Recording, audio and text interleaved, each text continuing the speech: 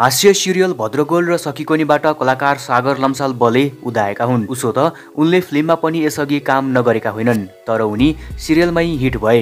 उनले लकडाउनपछि म्युजिक भिडियोमा पनि राम्रै पकड बनाएका थिए। उनै सागर अब फिल्म लास्ट चरणममा हिरो बन्दैछन्। शुक्रबार दुई घन्टा लगाएर घोषणा गरिएको कार्यक्रममा भर्खरै वैवाहिक जीवनमा बाँधिएका सागर सबैको नजरमा रहे। कार्यक्रम अवधिभर उनी हलमा बसे। स्टेजमा पनि पुगेर सबैलाई नमस्कार गरे। पछिल्लो समयमा सागर लम्साल विवाह बन्धनमा बाँधिसकेपछि विवाह बन्धनमा बाँधिएका थुप्रै भिडियो र तस्विरहरू पनि सामाजिक सञ्जालहरूमा सार्वजनिक भइरहेका छन् भने सागर रम्साल बलेले पनि आफ्नो सामाजिक सञ्जाल टिकटक र फेसबुकमा थुप्रै भिडियोहरू सार्वजनिक गरिरहेका छन्।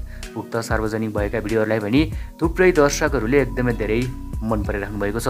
र तपाईँहरू पनि सागर लम्साल बलेको अभिनय रहेको नयाँ फिल्म लास्ट सरडम हेर्नका लागि कतिको एक्साइटेड हुनुहुन्छ कमेन्ट गर्न भने नभुल्नुहोला।